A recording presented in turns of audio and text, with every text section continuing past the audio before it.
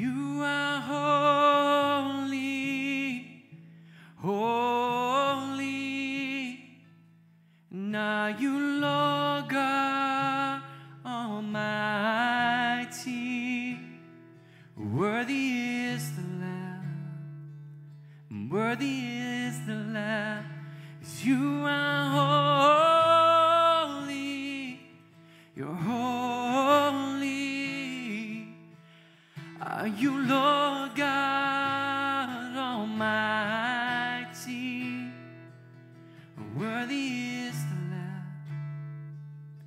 Worthy is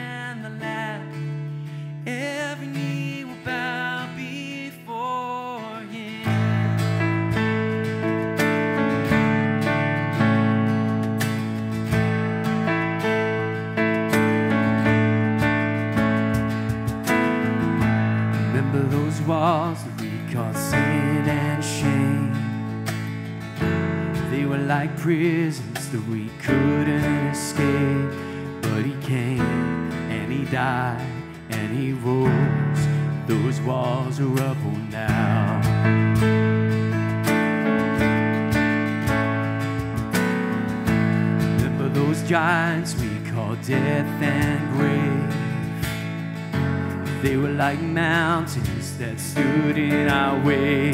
But he came and he died and he rose. Those giants are dead now.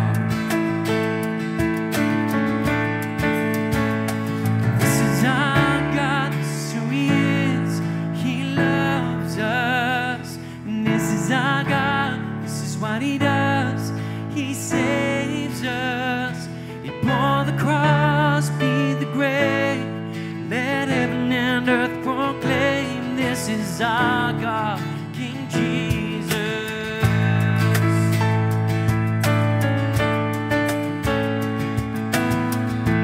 Remember that fear took our breath away.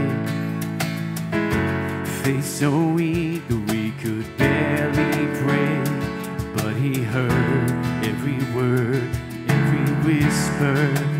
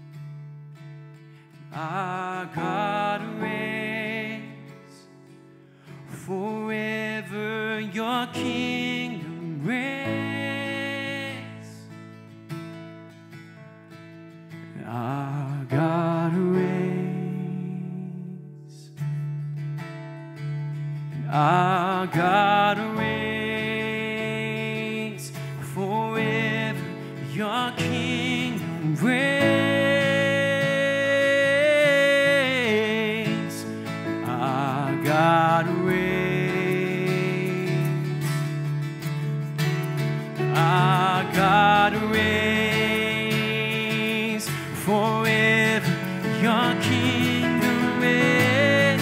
Reign over every circumstance.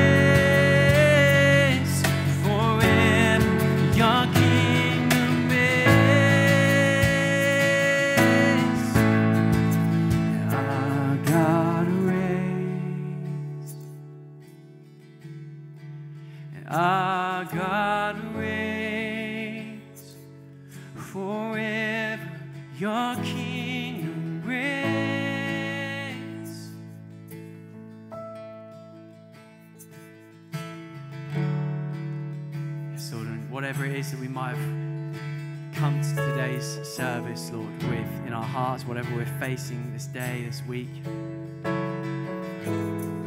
Lord, we know that you reign, that we worship a God who sits on the throne. So we need not fear, we need not be afraid, for our confidence is in you. Come, our confidence is in you. Yes, it's in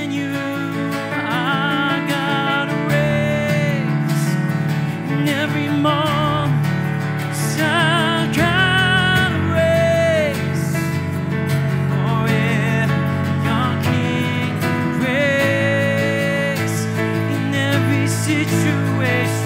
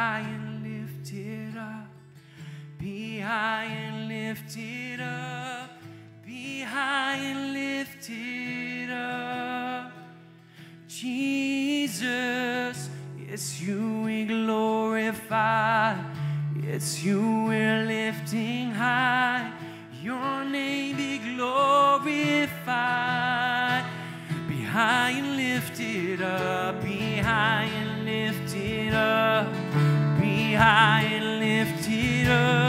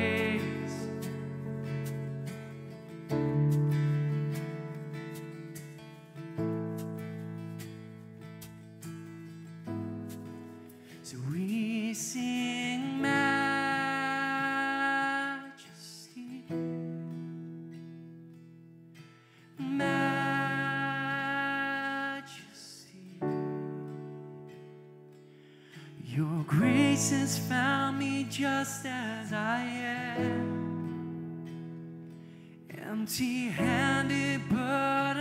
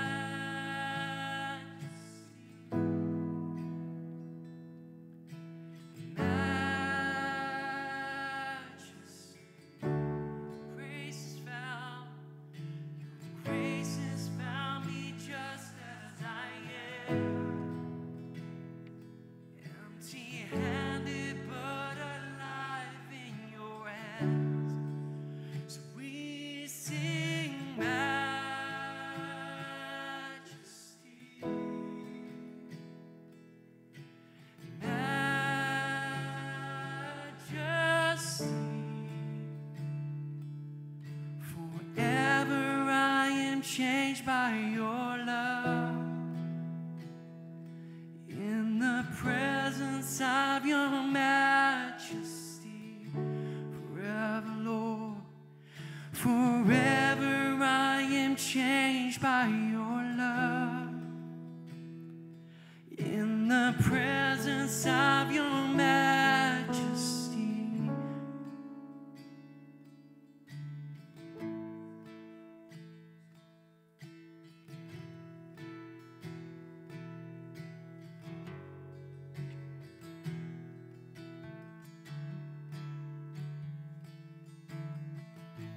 It's and Thank you, Lord, that as we that as we meet with you, that we are changed forever because of that encounter, because of that encounter with your your love. That our hearts are transformed.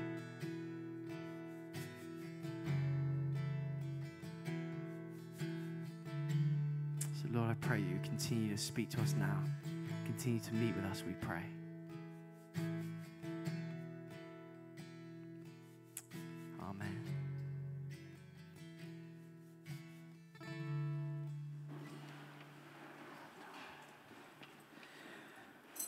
Welcome, St Margaret. It's great to see you. Thank you so much for coming. And thank you, too, for those of you who are joining us online. Thank you, Will and Josh and Josh, uh, for leading us in worship. We'll be back to you quite soon. One of the things which happens in every institution, the city and the church, is once a year we have to produce all kinds of figures to show that we're viable. And it comes about this time of year when we have to say to the church, look, we're open for business. It's all right. Forget about us, always the best thing.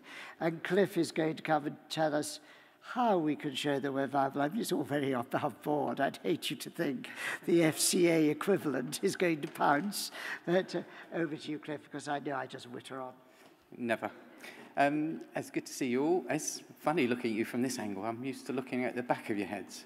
Uh, anyway, you look even more beautiful this way round. Um, yes, electoral roll form is very simple. We just need a little bit of information from you name, email address.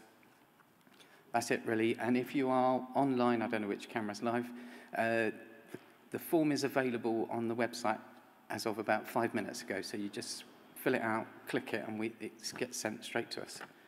You can fill it out with me at the end, or you could go online and fill it out now. That's it. If you, not right now, don't leave and do that now.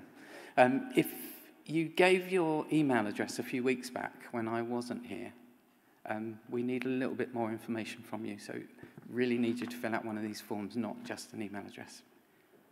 That's it. I'll pass it back to Jeremy. You can begin to imagine who was looking after the forms on the day when, I, when they weren't filled in properly. And if you are, if you're regular, and I know there's something between 65 and 120 watchers most weeks on average, if you watch us every month or once a month, do fill in one of these forms on the website because we do, there's a special new thing which we have to fill in about how many are, worshipping with us online, and we'd love to know who you are, so that, that'd be great as well. Now then, our preach today, Josh is going to come in a minute, but first of all, Bibi. Everyone's called Josh this today. Uh, Bibi, who isn't called Josh, of course, is, just, is going to come and read from the scriptures to us.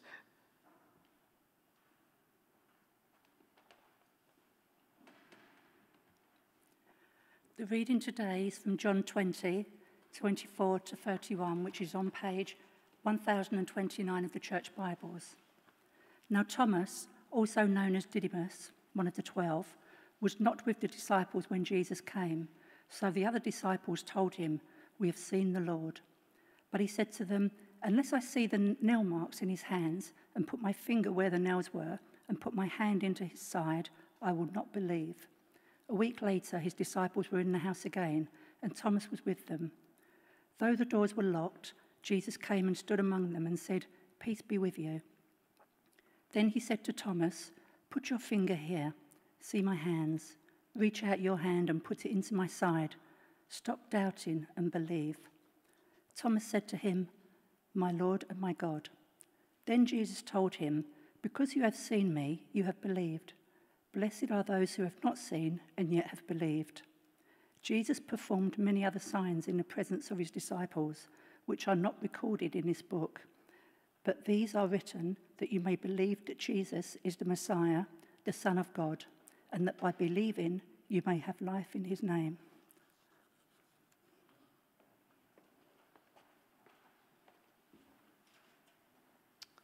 Brilliant. Thank you so much.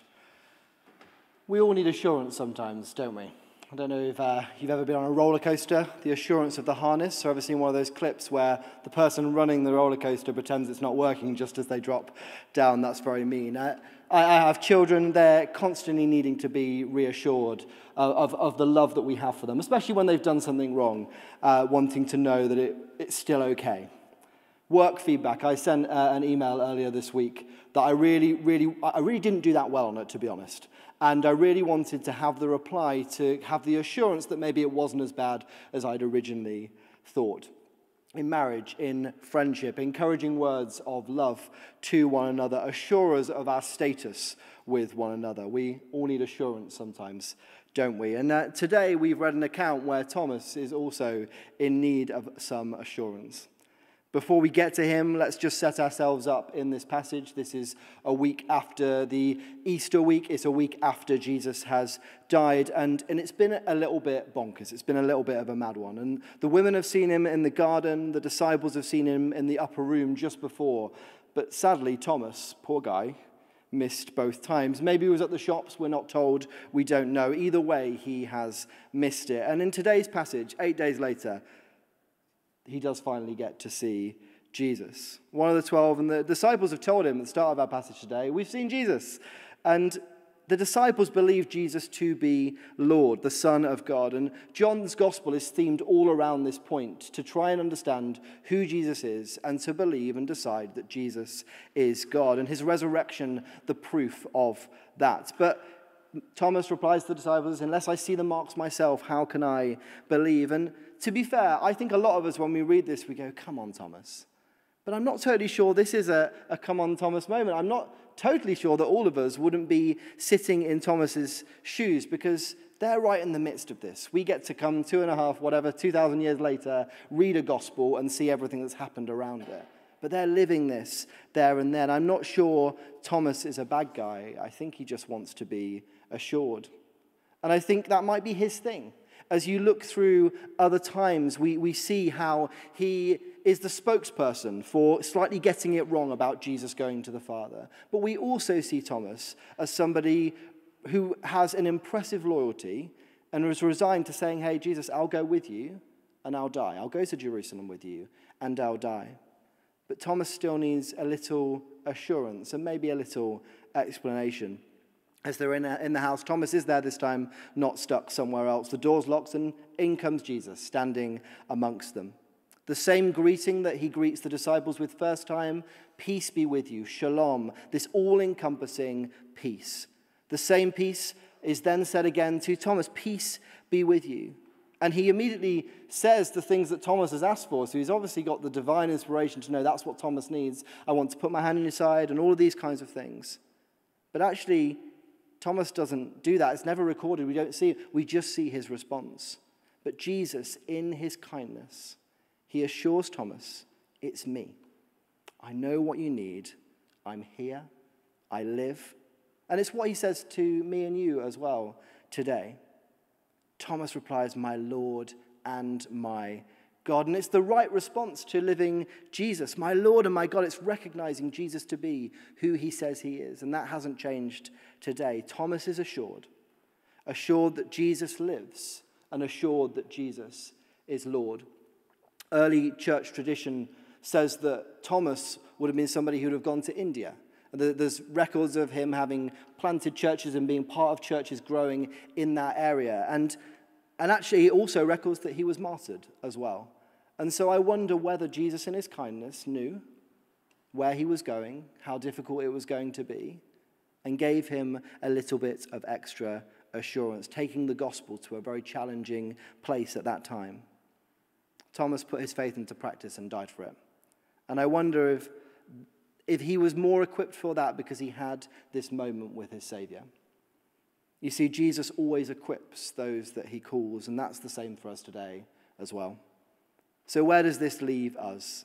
The disciples saw that Jesus lived and celebrated him as Lord. Thomas, just a little bit later, did exactly the same thing. And now we're told, verse 29, Jesus says, Because you see me, you've believed, but blessed are those who have not seen and yet have believed. And I read this story to my nine year old last week. And her words simply, she said, Well, we need to believe without seeing, don't we?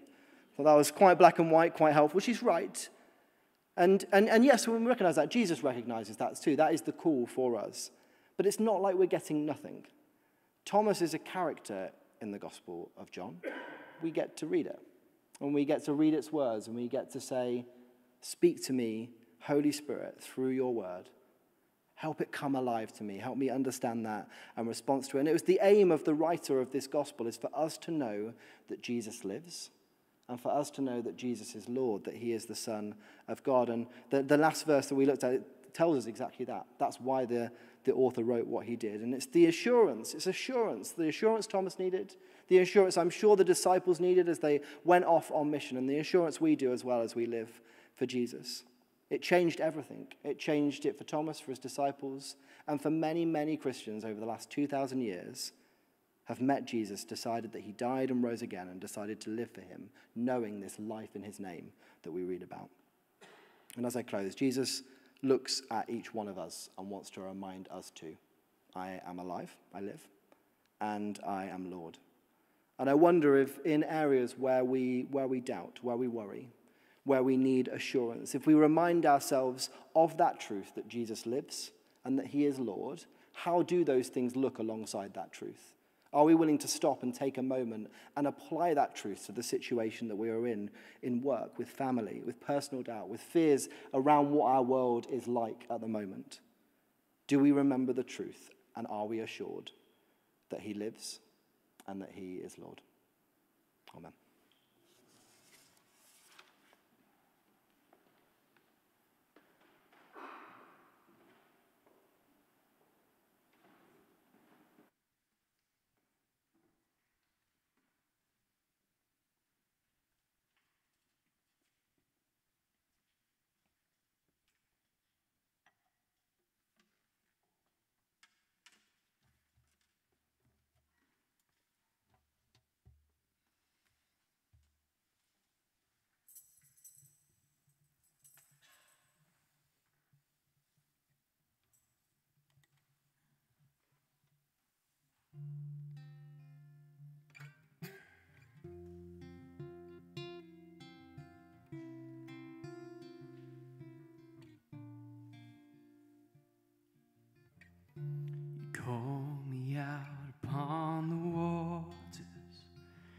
Great unknown, feet may fail.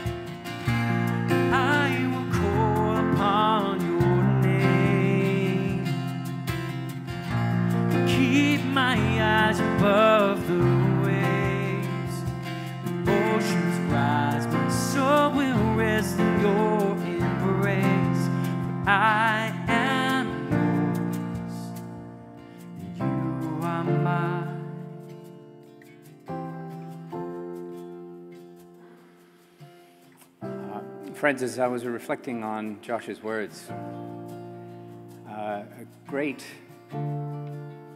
call for us to find words of assurance from the Lord. And can I just give you some assurance? I've been walking uh, with the Lord for quite a long time, and I need to give you a real powerful word of assurance. I am full of doubt. How do you like that? Someone once said, James, the opposite of faith is not doubt, it's certainty.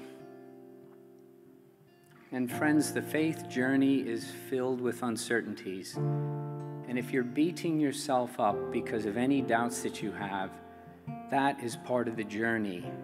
Be assured in that, and God knows it. And it's at those times when you just say, Lord God, I believe, help my unbelief. And we cry out to Him and say, Lord God, I need words of assurance. I wish I could just tell you that constantly I had no doubts, but that is part of the journey. And I suspect that even if I had been in Thomas's shoes and seen the risen Lord, days, weeks, months, years later, I would have called some of that into question. So, can I just invite you now, if any of you feel brave enough to say, I am walking a journey of faith, but it includes doubt, can I invite you to stand and we can pray over that? I want that doubt not only to be addressed, not removed, but to be affirmed as something that God knows and understands, and it's okay. Can we pray about that if any of you feel so called? Father God, we give you such thanks for your words of love and assurance, but we confess to you, Father, that there are times in the journey when we have doubts. There are times when we have fears, we have anxiety. We confess that to you, Lord God, but we give you such thanks that in your divine understanding, you, you know that, Lord God. It shall not be held against us. We invite you now to draw near to us, to address those doubts and those fears, and to come flooding in with the power of your love. Words of assurance, words of truth that your Son lives. He was indeed resurrected and he lives in eternity, and he invites us to join him in that. And so, Lord God, I pray that if any of us are feeling doubt, that we wouldn't wear it as a sin or a punishment, but that we would release it to you, and that we would know that as we do, that your Holy Spirit will fill that void and come and give us words of assurance and love. And we pray for all these things by and through the risen Lord Jesus Christ. Amen. Amen. Amen. I'm going to be up front. If anyone else needs any prayer for anything at all, please do come forward. Spirit, lead me where my trust is without borders. Let me walk upon the waters wherever you would call me. My feet could ever wander, and my faith will be made stronger in the presence of my Savior. Spirit, lead me where my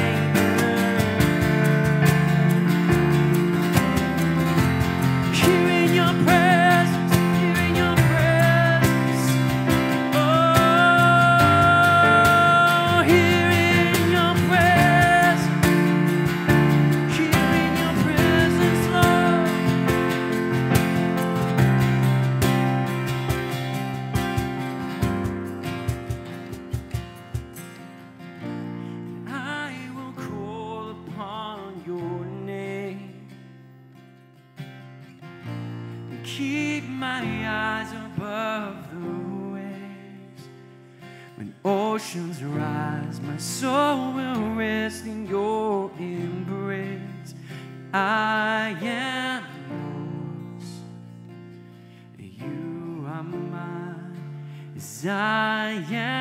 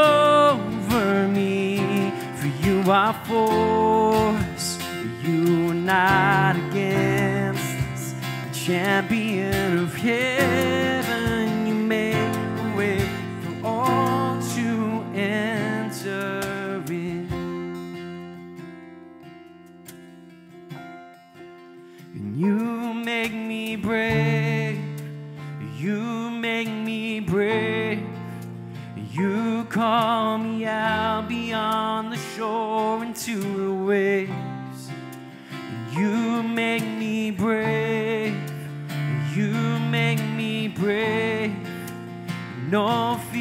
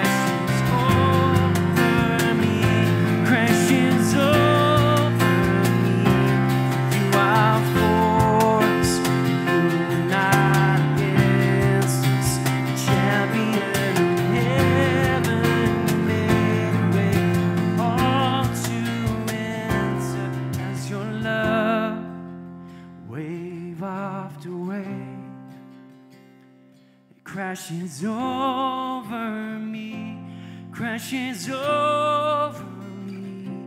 You are for us, you are not against us.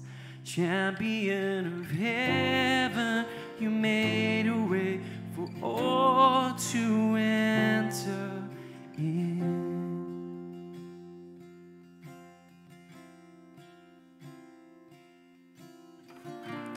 Um, in preparing the talk, I had a picture of a bridge, and you know the phrase, I'll cross that bridge when I come to it.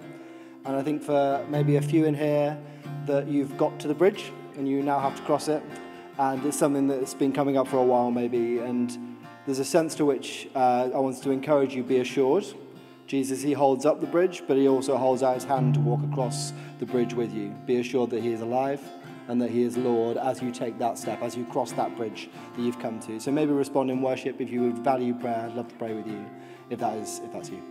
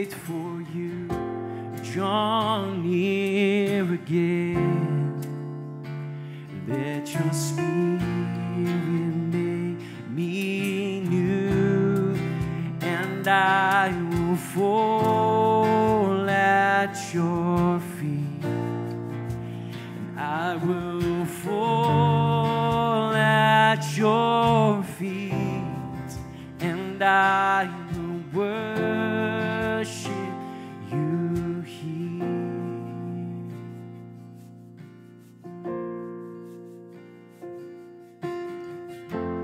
Your presence in me, Jesus, light the way by the power.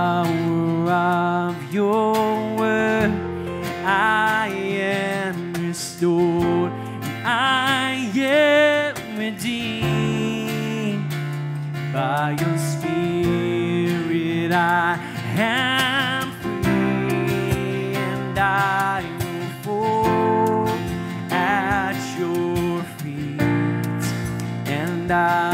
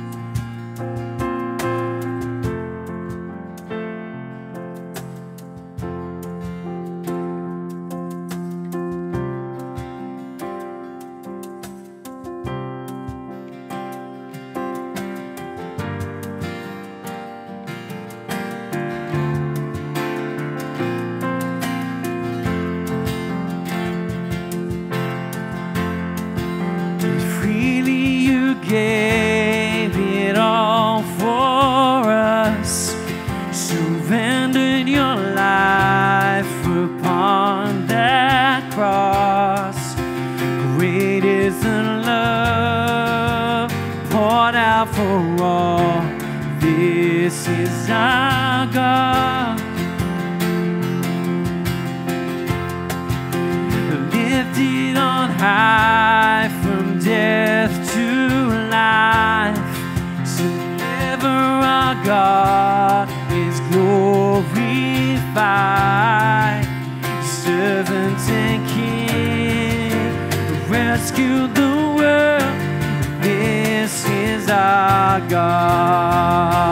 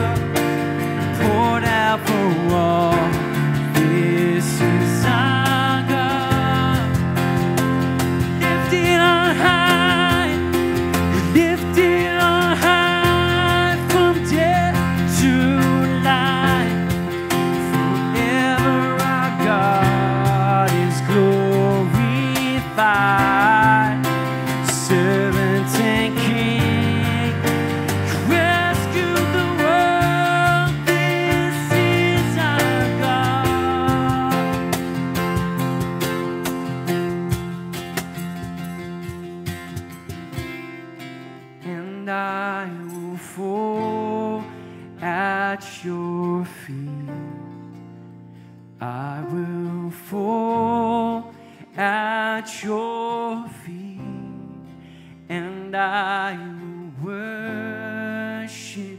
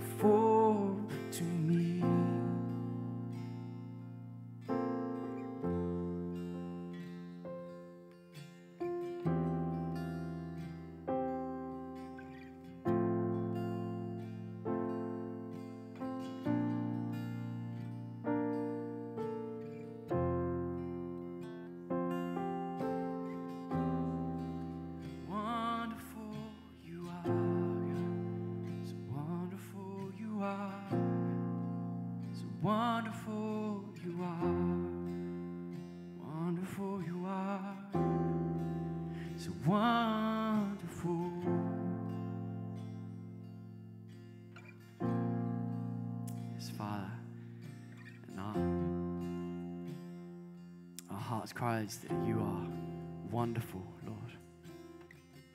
That you are worthy of our, our praise and our adoration. So pray, Lord, that, that we would know you with us. As we go from this place, Father, we would know that you do not leave us, that you do not reside in the church building, Father, but you live in our hearts.